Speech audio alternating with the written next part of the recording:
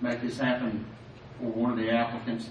We're gonna move the city of Dasher's case, which it shows up on your agenda as item number six.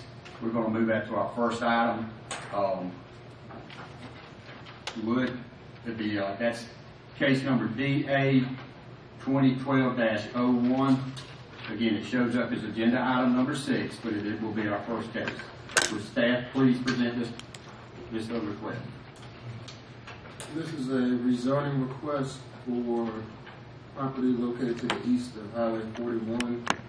On the agenda, it states that it's nine acres. When I, I talked to the applicant before the meeting, she let me know that it's for about four five acres.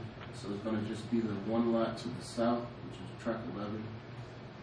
And it's for rezoning from agricultural use to suburban agriculture to bring the lot to conformance, more, more to conformance with the Dasher zoning regulations. The staff recommends approval. Okay,